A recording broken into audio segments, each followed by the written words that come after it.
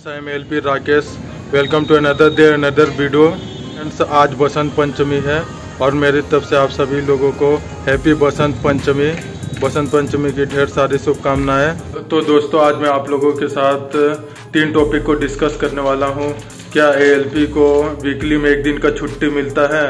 क्या इतने घंटे का होता है और इसका क्या नाम होता है? क्या छुट्टी में भी आप लोगों को बुलाया जाता है ड्यूटी करने के लिए?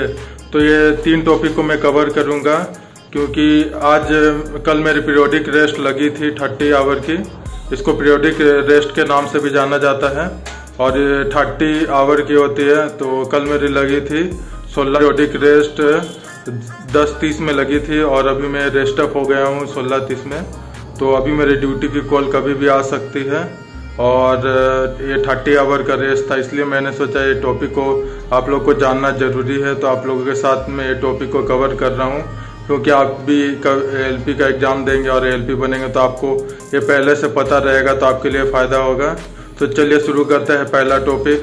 टॉपिक को मैं डिस्कस करता हूँ कि एल को वीकली में एक दिन का छुट्टी मिलता है कि नहीं।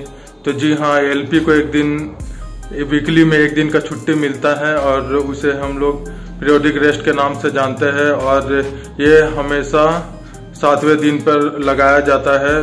पूरे इंडिया में जितने भी लॉबी है, वहाँ पे ये पीरियोडिक रेस्ट के नाम से ही जाना जाता है और थर्टी आवर का रेस्ट रहता है, जिसमें हर जगह एलपी को हर सातवें दिन पे रेस्ट लगाया जाता है।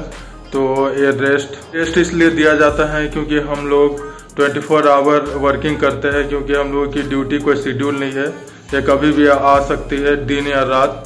तो हम लोगों को प्रॉपर रेस्ट करने के लिए थर्टी आवर का पीरियोडिक रेस्ट लगाया जाता है। और ये रेस्ट हम लोगों को जहाँ आप लोग पोस्टेड होते हैं, वहीं पे रेस्ट लगाया जाता है। फ्रेंड्स ये हम लोगों को लगाया जाता है पीरियोडिक रेस्ट अपने हेडक्वार्टर में ही। और ये पीरियोडिक रेस्ट इसलिए लगाया जाता है क्योंकि हम लोग हर दिन दूसरे जगह पर जाके वहाँ रनिंग रूम में रुकते हैं और इसलिए थर्टी आवर का पीरियोडिक रेस्ट हम लोगों को अपने हेडक्वार्टर में लगाया जाता है। तो दूसरा टॉपिक आप लोगों के साथ मैं डिस्कस करता हूँ अभी। तो दूसरा टॉपिक ये है कि ये रेस्ट कितने घंटे का होता है और ये रेस्ट का नाम क्या होता है? तो आप लोग को पहले मैं बता दिया था। ये रेस्ट थर्टी आवर का होता है और इसका नाम रहता है पीरियोडिक रेस्ट जिसको पी आर थर्टी बोला जाता है। और ये पूरे इंडिया में हर जितने भी लॉबी है, सब जगह इसी के नाम से जाना जाता है पी आर थर्टी तो आप लोगों को ये जानना बहुत ज़रूरी था, इसलिए मैं आप लोगों के साथ डिस्कस कर रहा हूँ। क्योंकि ये थर्टी पी आर हर जगह लगाया जाता है। आप एल पी बन जाओगे फ्यूचर में तो आप लोगों को ये पहले से पता रहेगा।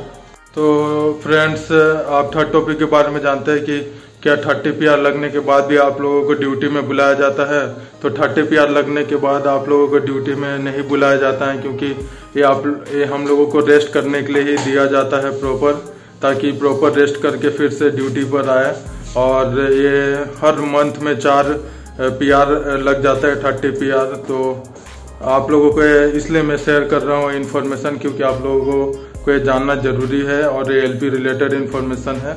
तो आप लोगों को ये इन्फॉर्मेशन कैसा लगा आप लोग कमेंट करिएगा मेरे कमेंट बॉक्स में। और जल्दी मिलते हैं नेक्स्ट वीडियो में।